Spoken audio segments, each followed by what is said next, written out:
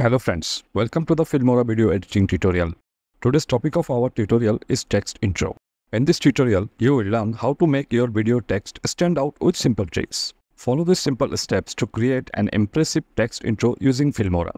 To create a text intro like this, you need a video clip and a white screen. Here I have imported some video clips from the pexels.com. Add a video to the timeline. Then add the white skin to the timeline. Add a title from the title tab. If required, increase the duration of the text. By default, text color is white. That's why the text is not showing. Choose the color green for the text.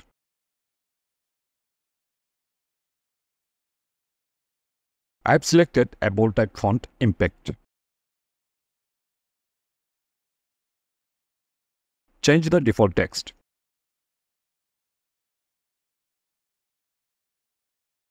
Set the position of the text at the center. Increase the scale value of the text. Select the text and the white screen. Then create a compound clip.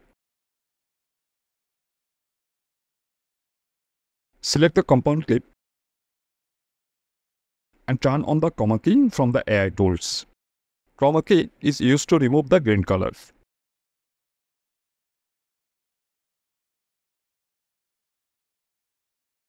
I have reduced the opacity of the compound clip, which is actually optional.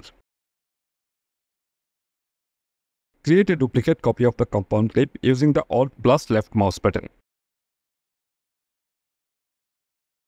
Hide the second compound clip. Select the first compound clip.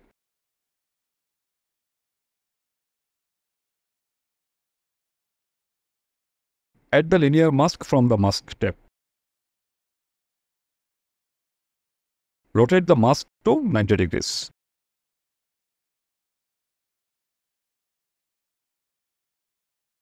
and hide the second compound clip.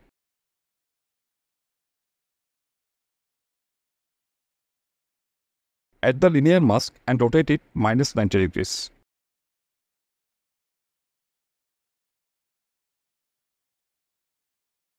Again hide the second compound clip. Select the first compound clip and go to the Basic tab. At the starting point, add the first keyframe to the position. Forward the playhead at 2 seconds and add the second keyframe to the position. Change the Y position at the second keyframe mark to hide it at the bottom. Unhide the second compound clip. Select the second compound clip and add two keyframes to the position at 0 and 2 seconds. At the second keyframe mark, change the Y position and hide it to the top. That's all from this tutorial. Thank you for watching this video.